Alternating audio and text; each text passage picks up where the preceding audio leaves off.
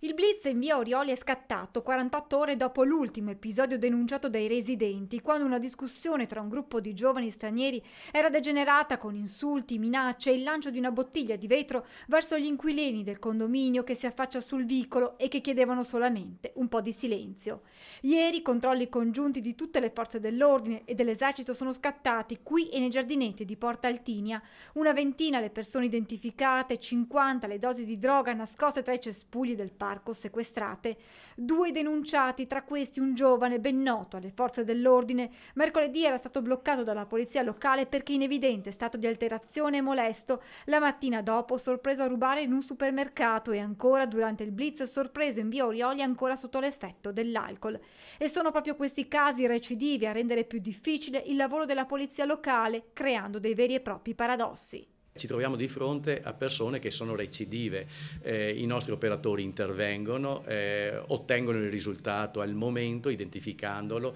presentando la denuncia, però di fatto eh, purtroppo in molti casi ci troviamo a doverci confrontare qualche giorno dopo con la stessa persona che eh, si muove sul territorio liberamente senza nessun vincolo, senza nessuna prescrizione e che in alcuni casi commette le stesse irregolarità per le quali la nostra polizia locale era intervenuta.